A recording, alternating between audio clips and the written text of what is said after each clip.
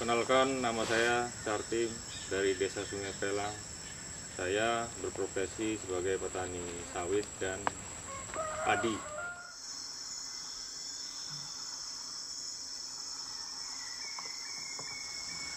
Langkah-langkah yang dianjurkan oleh pemerintah mengenai tentang virus corona yaitu membatasi istilahnya perkumpulan secara ramai-ramai jadi mengenai kebijakan pemerintah membatasi kegiatan masyarakat itu sangat sangat mempengaruhi sekali bagi petani-petani khususnya petani-petani sawit.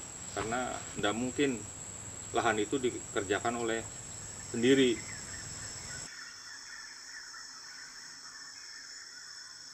Dari penambangan itu sendiri atau penebangan penebangan itu masih ada karena susahnya untuk mencari pekerjaan di luar atau di daerah kota. Jadi kebanyakan masyarakat e, setempat itu mengandalkan istilahnya hasil hutan atau tambang ilegal tersebut.